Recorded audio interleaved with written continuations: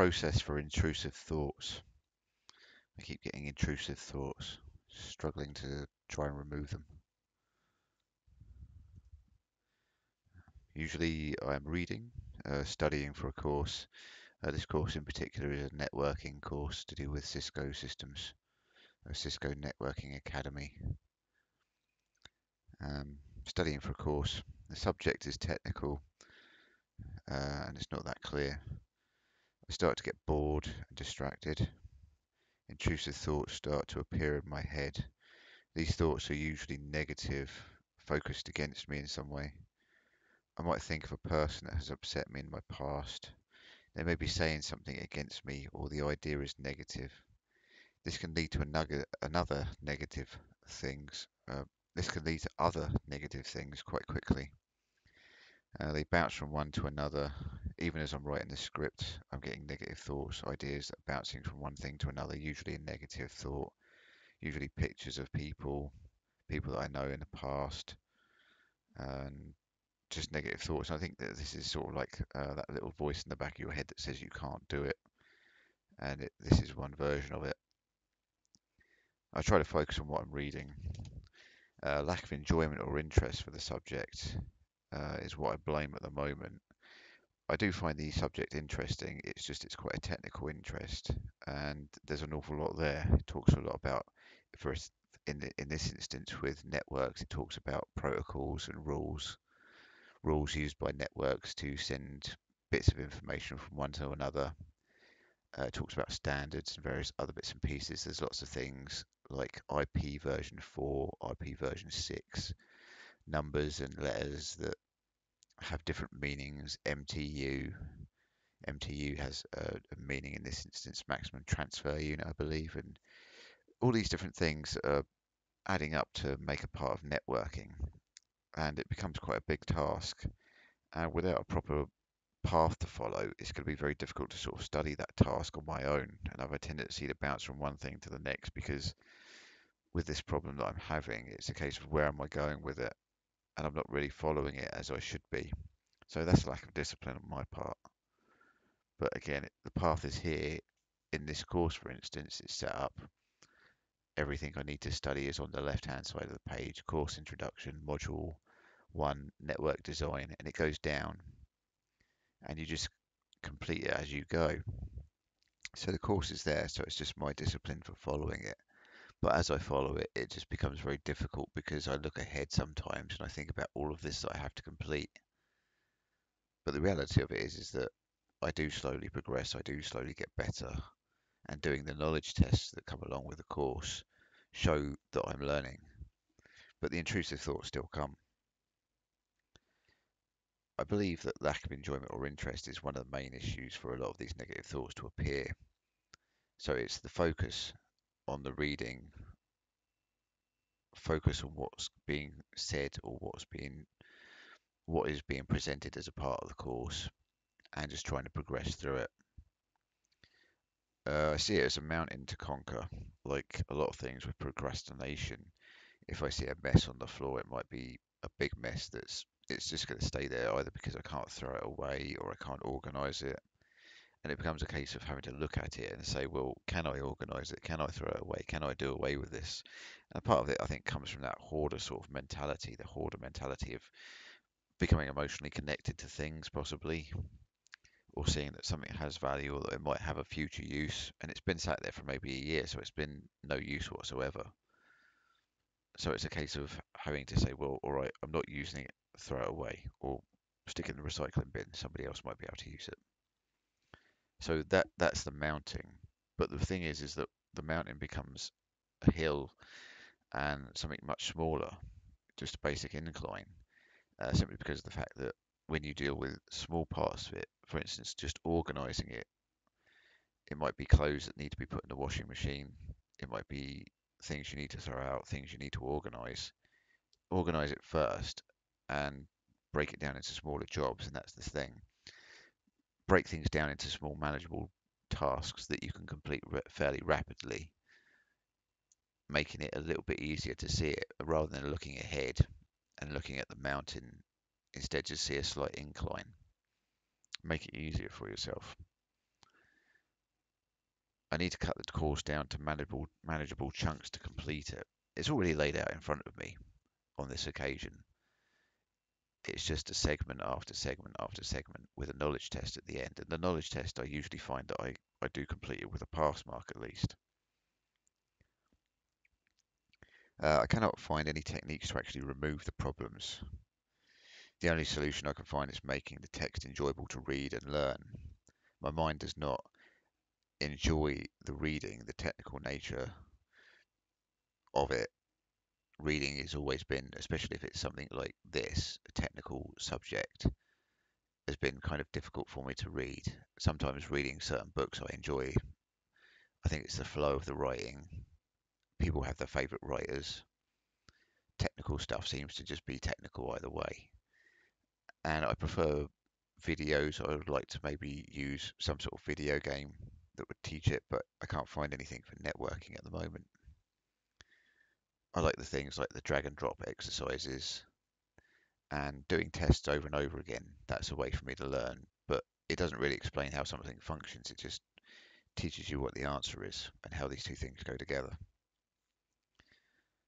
uh, technical nature and the possibility that I, I, will not learn. So one of the things that stops me is the possibility that I might not learn from what I read here, this this segment here, IPv4 packet header and the description of what it is. And okay, if I read it, how long is it going to stay in my head? And the process of learning something takes time. And that can be kind of confusing as well. So learning is a part of it. And the thing is, is that I do persevere and I will learn it eventually. On this occasion, I'm just glossing over it, and I have to see it as that that I'm just glossing over it, and it'll come back to it later. That this is a journey, and it's not going to be something I'm going to pick up immediately. All this adds up to negative thoughts, and all the negative thoughts add up. And I must make a plan to learn this subject again. It's a case of it's all here laid out for me. I just need to pr- progress through it. I must also accept that i will not learn this right away not from one reading. I must be passive and allow the feeling to exist and this this feeling of not not thinking that i'm going to learn. I have to just let it exist because i can't fight it i've not been able to find a way to fight it so it's just a case of read this get to the end of it and hopefully I would have learnt something. And usually it does, as I say, there's knowledge tests at the end, and I usually pass them with the bare minimum pass mark at least. Uh, knowing that I can and I will learn, uh, this is the energy that I need to use to keep going, knowing that I can do it and I will learn it because I am pers- I do persevere and I do learn eventually. I remember training to be an electrician years ago. It was technical, it was difficult to learn. I persevered, and now I can recall those things I learned over 15, 16 years ago. It's just a difficult thing to do at the time that you're doing it. And the, the problem that I'm talking about here is intrusive negative thoughts and how to avoid those. And getting up and walking away from it doesn't help. And the procrastinating thing of okay i'll make a cup of coffee then i'll come and sit down and read it. That doesn't help either. It's sitting down and doing it looking at it breaking it down into small chunks and doing it accepting it accepting the negative thoughts and just going forwards that seems to be what it is which is is not really a way of stopping the negative thoughts and i'm not sure if it is a way of it, it doesn't deal with it but you have to keep going. That's the problem. That's the, that's the thing. That's the solution. Is is you have to keep going. Uh, I must read this, except that I do not understand and keep moving. So I have to read the subject that I'm I'm reading on the screen. Maybe not understand it, but otherwise keep going. I have many things to study, and it is a long road. I know I will persevere. I must set a plan. The plan's already there and I know I'm going to persevere with it. I'm going to eventually get it. It's just um, I've not got to let it overwhelm me. I think the part where it overwhelms you just encourages the negativity. So don't look at the end result. Look at what you've got in front of you. Deal with that, and eventually that path will get shorter and shorter until I get to the very end. When another path will start, and that'll be a long path. So it's the task in front of you. So the plan at the moment is to get an overview of what I'm reading, to gloss over what I'm reading, to see what it is, to look at the titles, see how much is there that I need to read, glance at the title to get an idea of what I'm, I'm going to be learning, get as much insight into it as possible to stay focused on it. Sometimes you might read the summary of a chapter before you go and read the chapter itself. So that way you know roughly what's coming.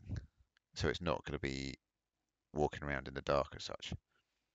Uh, keep reading. And I've completed the knowledge checks with a good score, so I know I can read and I can learn. So I don't actually have any techniques for how to deal with intrusive thoughts, but this is more just me sharing my idea about intrusive thoughts, accepting that they will happen and that it comes because the subject is kind of difficult and I'm just struggling with it, but break it down and, and make the subject easier to learn. And that should try to remove, or not remove, but help you alleviate the negative thoughts by alleviating the boredom part of it, the confusion part of it. Try to make it more enjoyable. And one of the things that I find with guitar playing, where people say to me, How do I practice playing guitar? How do I get good at playing guitar? How do I get good at playing an instrument? And the secret isn't practicing. The secret to getting good at an instrument is enjoying it. Because if you enjoy it, you'll sit there for hours and hours and hours every day just doing it over and over again. So it's not practice, because practice sounds like a repetitive pattern of something that is boring and difficult, and that's what people know practice to be. When you enjoy doing something, it's just enjoyment. So you have to enjoy it. So this is kind of tricky because although I do like learning things and I like looking back at something and having all of that knowledge, it's very technical. And so it's just a case of, okay, MTU, what does that mean? Maximum transfer unit.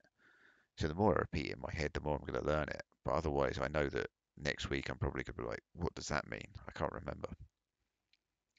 Intrusive thoughts are going to happen. Whatever the thing is you're trying to learn, break it down into manageable chunks, make a plan, follow the plan.